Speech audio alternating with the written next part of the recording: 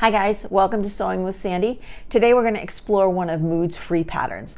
Now they have quite a few free patterns on their site, but the one we're going to look at today is the hospital gown. It's MDF 201, and I'll put the uh, link for it down in the description down below.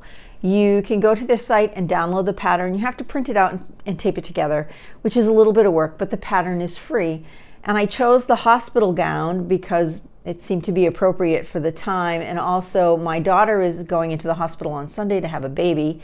And so she's going to be in a bed for a couple of days. And I thought it would be nice for her to have something comfortable to wear. So the pattern recommends 100% cotton, and it's designed for the nurses and staff that work in the hospital. This is actually going to be for her, she's going to be in bed. So I chose a cotton for the front. This is just a plain quilted cotton and the pattern has a kind of a wrap front with some ties. So the cotton will work really well and it'll hold up in the front. But then since she's going to be in a bed I wanted to give her something a little more comfortable. So I, am going to add this knit uh, uh, ponte for the back.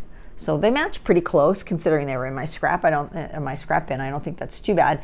And um, yeah, so it'll be a cotton front and a knit back. I think if you're going to make them for hospital staff, they should be completely knit. At least that's what the pattern recommends. But we'll see how it goes. So follow along and see where we end up.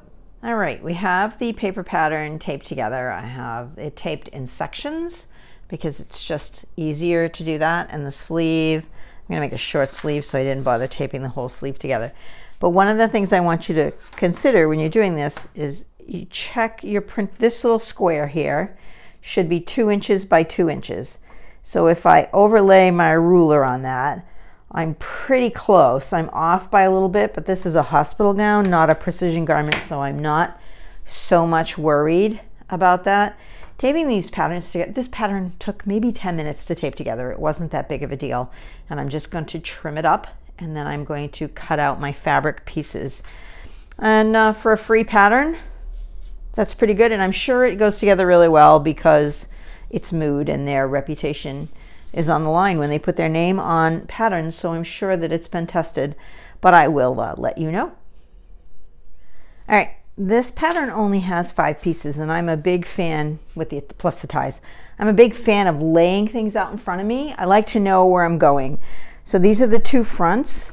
The back is cut on the fold and then these are the two sleeves. So what we're gonna do is we're gonna sew these sleeve sections together all the way around because this part of the sleeve actually becomes part of the neck. So you can see that here and then this is open. So I'm going to, I'm just going to serge it because it's a hospital gown and she's probably going to wear it a couple of times and then give it to somebody else. So I think that uh, serging is the way to go. It'll save time, plus it will make this much more comfortable for the, um, for the knit portion of the uh, garment. All right. So we're going to sew all those pieces around.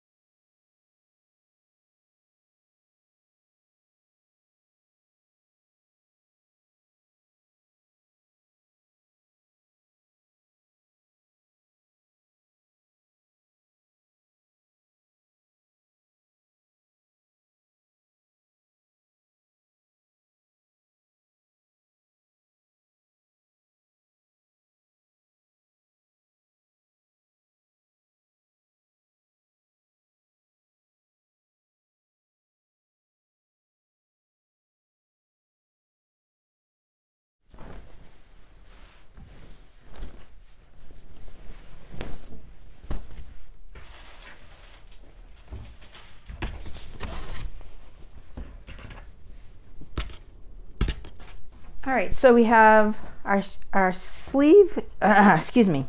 So we have our sleeve seams all sewed together and now I'm just going to flip it right sides together and we're gonna sew down the sleeve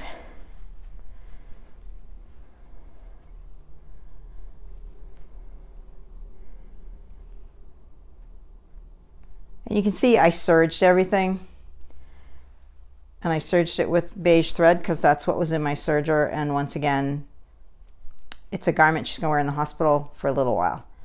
So we're gonna sew this underarm seam and then all the way down the side seam. And we're gonna do that on both sides.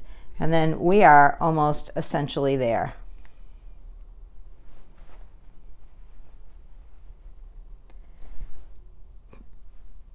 All right, you can see we have our little hospital gown all made. Cute little sleeves, right?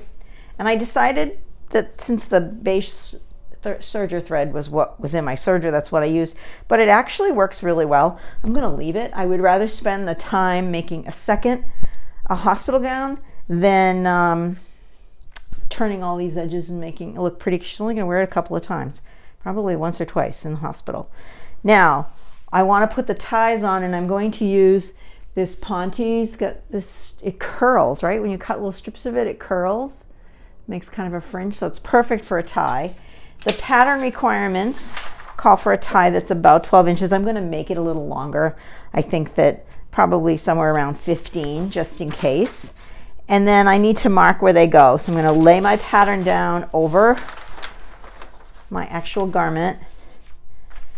And I'm gonna put a pin in where the where the, the hole for the pattern is. There's three of them, the three little tie holes, and then mark it on this side so I have a pin. I've actually marked them already where they're gonna go on each side. So they're on the left and the right front. And we're gonna have, so we'll have six of these, and we're just going to sew them on. I'm just gonna tack them on.